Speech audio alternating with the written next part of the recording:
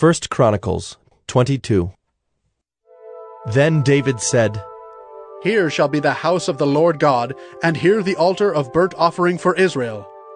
David commanded to gather together the resident aliens who were in the land of Israel, and he set stonecutters to prepare dressed stones for building the house of God. David also provided great quantities of iron for nails for the doors of the gates and for clamps, as well as bronze in quantities beyond weighing, and cedar timbers without number. For the Sidonians and Tyrians brought great quantities of cedar to David. For David said, Solomon my son is young and inexperienced, and the house that is to be built for the Lord must be exceedingly magnificent, of fame and glory throughout all lands. I will therefore make preparation for it. So David provided materials in great quantity before his death. Then he called for Solomon his son, and charged him to build a house for the Lord, the God of Israel. David said to Solomon, My son, I had it in my heart to build a house to the name of the Lord my God.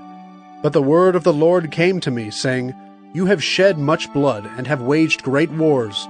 You shall not build a house to my name, because you have shed so much blood before me on the earth. Behold, a son shall be born to you who shall be a man of rest.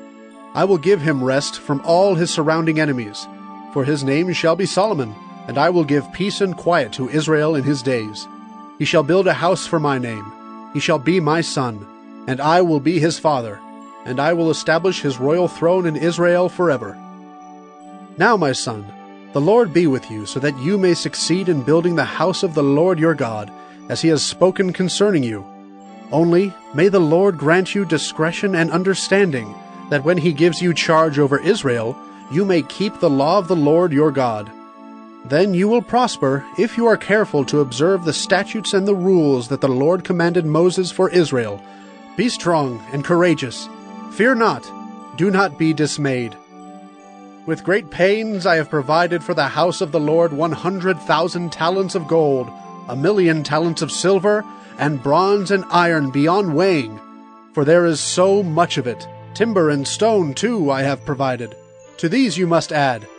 You have an abundance of workmen, stone cutters, masons, carpenters, and all kinds of craftsmen without number, skilled in working gold, silver, bronze, and iron.